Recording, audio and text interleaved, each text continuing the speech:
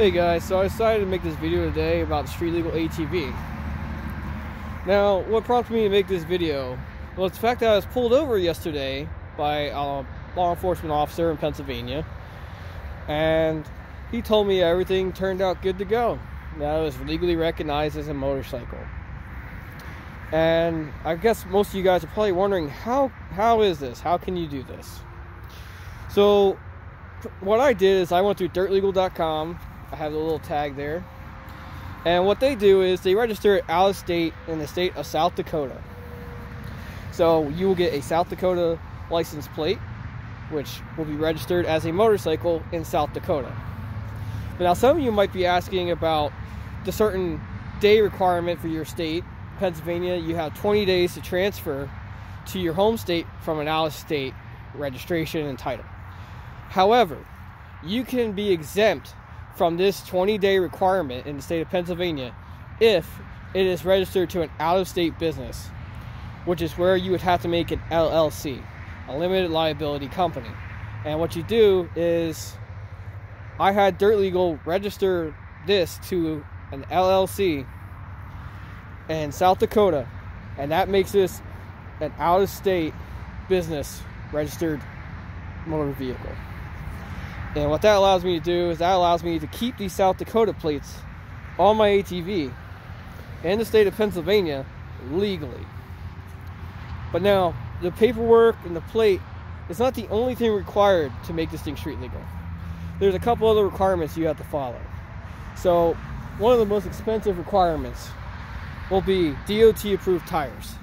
You can tell these are DOT approved because you can see DOT on the tire right here and it'll be in a circle. That's how you tell tires DOT approved. Now these specific tires, I have a 12 inch rim. I went with Interco Sniper 920s. And these are 27 inch. I had a stock 25 inch. Now I, I know there's another company that makes street legal DOT approved tires. Or Interco Snipers was the best choice for me because they have off-road tread.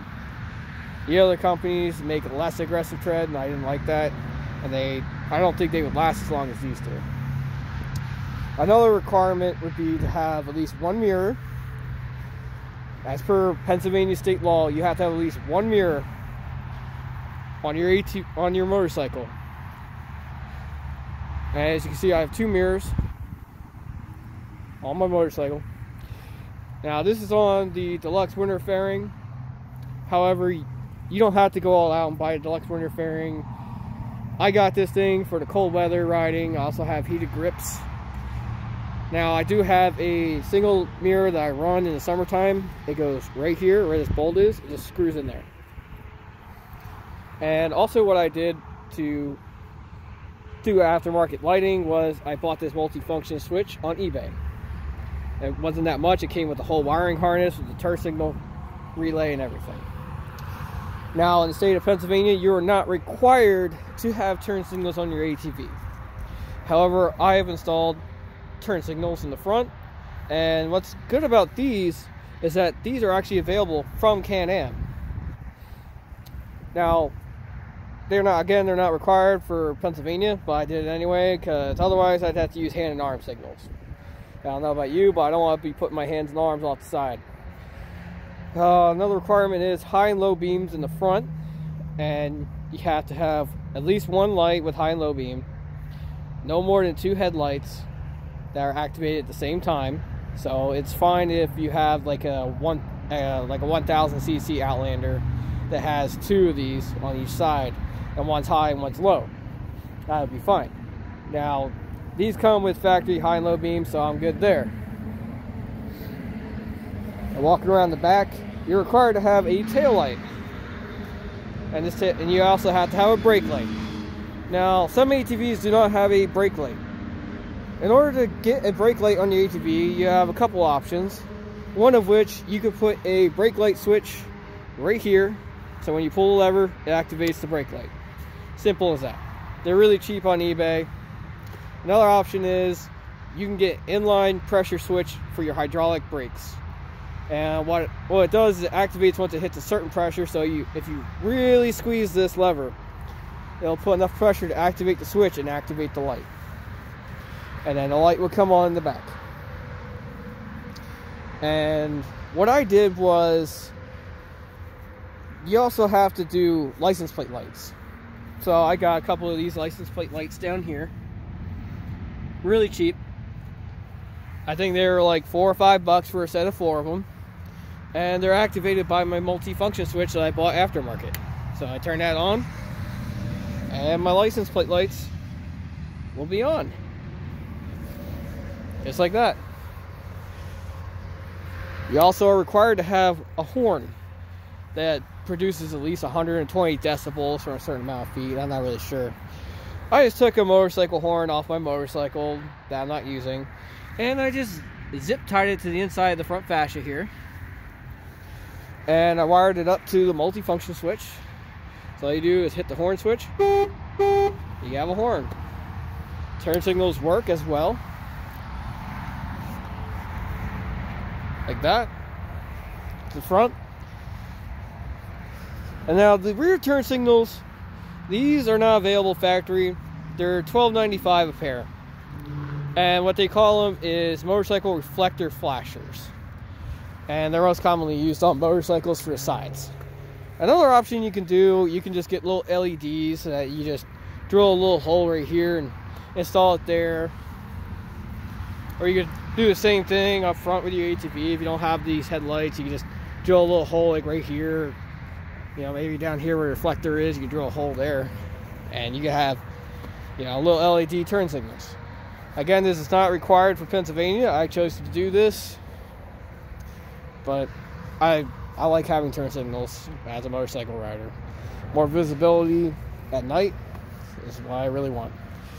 Um, now I was stopped by a cop yesterday in Lebanon, and they told me that everything turned it back completely legal. They asked me for my registration and ID. The officer first approached me. He was just kind of like, "What's going on here? I'm confused." Because I, I was driving down uh, a public road, uh, public highway actually, and he had flipped around took him a little bit to catch up to me, and he activated his lights and sirens. I pulled over immediately, like I'm supposed to. And he pretty much just came up to me and said, I'm confused. What what's going on here? And I explained to him that this is registered as a street legal motorcycle. And I offered him my registration and my license, which I have a class A CDL and a class M with a class M endorsement. So I offered him that. He took it back to his cruiser. He said he has to call one of his other officers who deals with DOT issues, DMV issues, stuff like that on a more daily basis than he does. So he wanted to get clarification. And I told him I was interested to know the outcome too. Because I really wanted to know if this was legit or not. And he comes back to me, he said, There's no problem. We don't have a problem with this because it's legally recognized as a motorcycle. He didn't even care to look at DOT approved tires, even though I had everything ready to go. He didn't care about looking at turn signals or mirrors or anything like that. At the time, I did not have my license plate lights on either, but I, it was also not dark out. You don't have to have them on unless it's dark out. So, and then I went there. I was going to a doctor's appointment, and I go to the VA because I'm a veteran. And over at the VA, I was stopped by a VA officer in the parking lot. He, it wasn't an official traffic stop. He kind of just pulled up to me after I parked, and he was talking to me about it. He's like, uh, "How is that illegal?" I pretty much explained to him, and he had a bunch of questions about it because, you know, they've never seen anything like this. You were talking about officers with 18, 17 years experience. First one had 18 years experience. The, the VA officer had 17 years experience, and neither one of them had heard about street legal ATV in anywhere in Pennsylvania. And they were just wondering how this was possible. And the VA officer also explained to me that, you know, the, he said he actually said 90 days that you had to transfer it back to your home state. I told him that you're exempt. If you read the section, it says you are exempt if it is registered to an out of state business. I do not have to comply with that requirement. He, he didn't really he didn't want to argue about anything. He just kind of said okay, because he he doesn't know anything about it. And I told him to go check out dirtlegal.com if he wants to learn a little bit more about how they do it, if this is legal. You know, I, I come up there every like couple months for a doctor's appointment and visits.